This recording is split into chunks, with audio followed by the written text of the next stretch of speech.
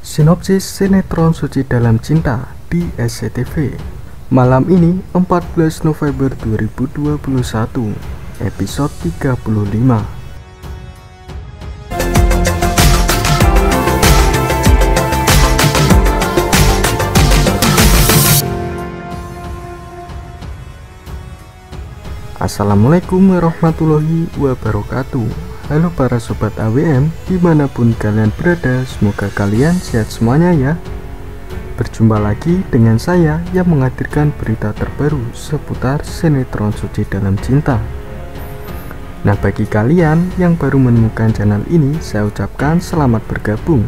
Dan jangan lupa tekan tombol subscribe-nya Dan aktifkan tombol loncengnya agar kalian tidak ketinggalan berita terbaru dari channel ini. Dari sini saya akan menceritakan alur cerita seputar sinetron Suci Dalam Cinta. Tentunya hanya di SCTV. Selamat menontonnya guys dan terima kasih. Nah di awal scan kali ini Sela masih kesal dengan Rafa karena Rafa selalu membela Suci.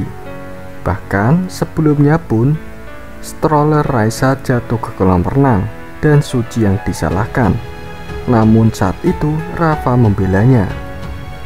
Sela pun mulai curiga kalau Rafa masih ada rasa sama Suci. Dan Sela gak ingin Rafa kembali mencintai Suci dan dia akan melakukan sesuatu untuk Suci. Namun di sisi lain, Suci kembali bertemu dengan Kinan namun Kinan masih marah kepada dirinya. Dan ditambah lagi, sebelumnya Suci disuruh untuk menjaga Raisa. Malahan, stroller Raisa jatuh ke kolam renang. Di sini pun Suci nggak menyerah begitu saja, karena dia ingin untuk melaksanakan amanat Almira yang disuruh untuk menjaga Raisa. Dan dia nggak ingin Kinan menyerah setelah kepergian Almira. Kemudian di waktu yang lainnya, pencarian baby sister untuk Reza akan masih ditayangkan di episode kali ini guys. Dan Kinan akan setuju kalau Reza dijaga oleh baby sister.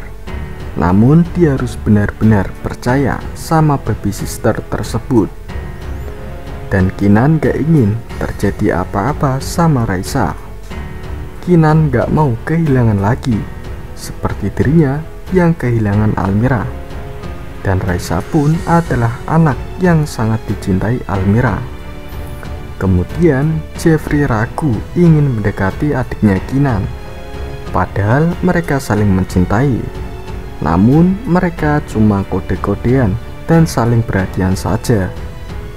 Kemudian di scan terakhir kali ini, Rafa nggak terima karena dia belum bisa sebelumnya bersama dengan Raisa dia ingin hak asuh Raisa ke dirinya, meskipun Kinan tetap akan melindungi Raisa.